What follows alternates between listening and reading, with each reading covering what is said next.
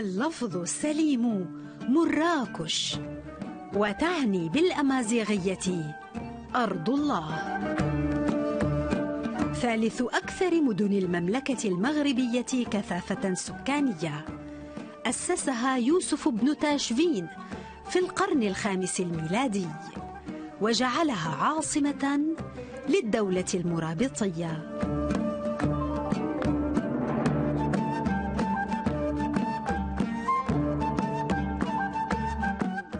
الحجر الرملي الأحمر الذي شيدت منه منحها لقب المدينة الحمراء ولها ألقاب جميلة أخرى مثل عاصمة النخيل.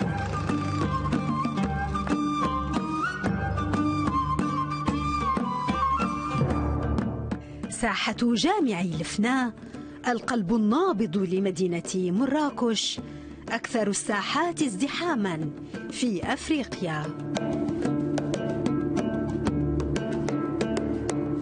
سميت الساحة بالفنا للعثور تحتها على أنقاض جامع قديم لكنها معنويا أبعد ما تكون عن الفناء فهي فضاء شعبي ترفيهي للسكان المحليين ومقصد لكل من مر بها من المسافرين.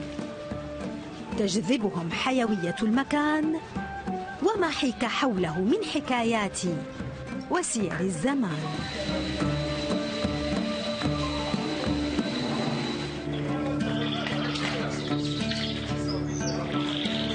فيض من الألوان لبضائع تراثية يغزل للبصر متعة الفرجة.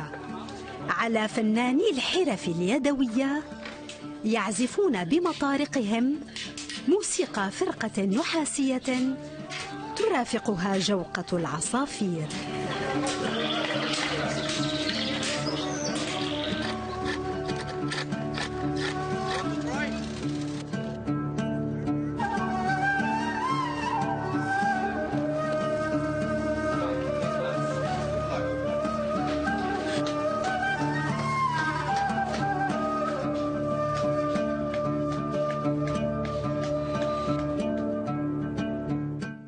بعد قرابة قرن كامل من تشييدها بني جامع الكتبية بطابع أندلسي ما منحها زخما أكبر في زمانها.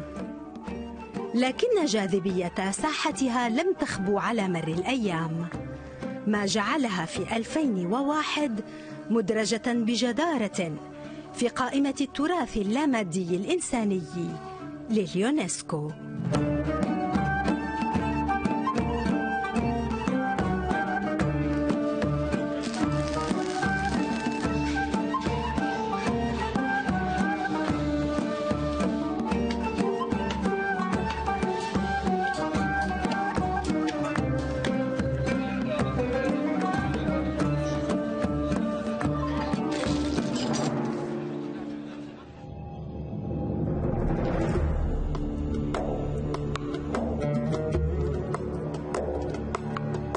قافلة من عشاق الصحراء تقطع أغافاي المغربية.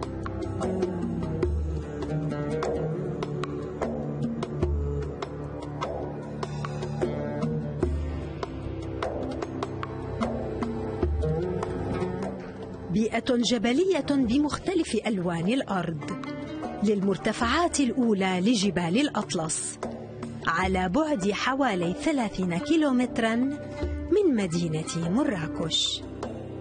لا تكاد تشبع عينك من الرمال حتى تستقبلك الواحة المسحورة. جنة مزروعة بالكروم وبأشجار الأوكاليبتوس والزيتون.